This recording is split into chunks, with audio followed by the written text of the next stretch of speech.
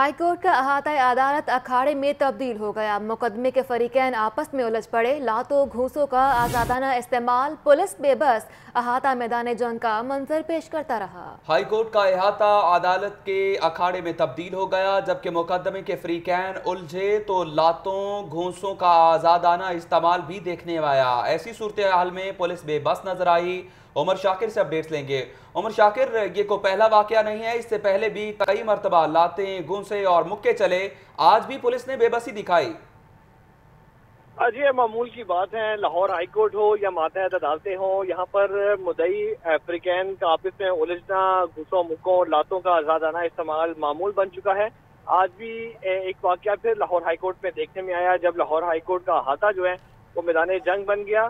قتل کے مقدمے میں ضمانت منظور ہونے پر احاطہ عدالت میں فریقین آپس میں الجھ پڑے۔ کمرہ عدالت سے نکلتے ہی مدعی پارٹی نے مخالف پارٹی پر حملہ کر دیا اور مخالفین کا ایک دوسرے پر تشدد، لاتوں گھوسوں کا آزادانہ استعمال کیا گیا، جبکہ ہائی کورٹ پولیس جو ہے وہ بیچ بچاؤ میں ناکام رہی اور بے بس بن کر صرف تماشائی کا کردار ادا کرتی رہی۔ لاہور ہائی کورٹ کے جسٹس مظاہر علی اکبر نقوی نے شہر یار کی درخواست ضمانت پر سماعت کی تو عدالت نے اس کی درخواست ضمانت منظور کر لی اور درخواست ضمانت منظور ہونے پر مخالف پارٹی کو عدالتی فیصلہ جو ہے وہ نہ بھایا، جس کے بعد فریقین کے درمیان ہاتھا پائی ہوئی اور احاطہ عدالت جو ہے وہ میدان جنگ بنا۔ اور عمر شاکر یہ بھی بتایا گیا اس سے پہلے بھی ایسے واقعات رونما ہوتے رہے ہیں۔ احاطہ عدالت میں وہاں پر سیکیورٹی کے بھی کڑے انتظامات کر دیے گئے تھے۔ کیا وہاں پر کوئی سیکیورٹی اہلکار موجود نہیں تھے؟ بعد میں آ کر صلح صفائی ہوئی۔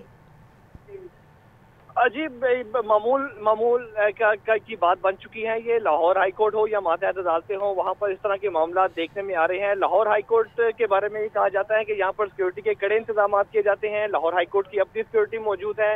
ملزمان جنہیں عدالتوں سے لا کر جیلوں سے لا کر عدالتوں میں پیش کیا جاتا ہے، ان کے ساتھ بھی پولیس اہلکار موجود ہوتے ہیں۔ لیکن فریقین جو ہے وہ آپس میں الجھ پڑے تو پولیس جو ہے، وہ صرف تماشائی کا کردار ادا کرتی ہے۔ اور آج بھی کچھ ایسا ہی دیکھنے میں آیا کہ جب فریقین آپس میں لڑے اور ایک دوسرے پر تشدد شروع کیا، تو پولیس جو ہے، وہ بیچ بچاؤ کرنے میں بالکل ناکام دکھائی دی۔ اور وہاں پر موجود جو وکلا تھے یا دیگر وہاں مقدمات کے لیے آئے افراد تھے، سائلین تھے، انہوں نے وہاں پر بیچ بچاؤ کیا اور لڑائی ایک خاتمہ کروایا۔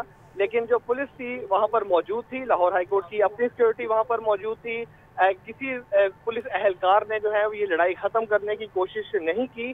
جو یہاں پر سائلین موجود تھے، جو وکلا موجود تھے، وہ فری کین کو لڑنے سے روکتے رہے، جس کے بعد جو ہے وہ لڑائی ختم ہوئی۔ لیکن لاہور ہائی کورٹ کی سیکورٹی اور دیگر جو یہاں پر پولیس اہلکار موجود تھے وہ بالکل ناکام دکھائی دیے نہ صرف ایک ملزم کے ساتھ پولیس کی نفری موجود ہوتی ہیں دیگر ملزم کے ساتھ ملزم ملزموں کے ساتھ بھی پولیس کی اضافی نفری جو ہے وہ لاہور ہائی کورٹ آتی ہے لیکن اس کے باوجود پولیس جو ہے وہ کیونکہ اس کا متعلقہ معاملہ نہیں ہوتا اس لیے پولیس اہلکار کسی ٹھیک ہے ہائی کورٹ کا احاطہ عدالت اکھاڑے میں تبدیل ہو گیا۔ پولیس بیچ بچاؤ کرانے میں ناکام رہی۔ بہت شکریہ آپ کا عمر شاکر۔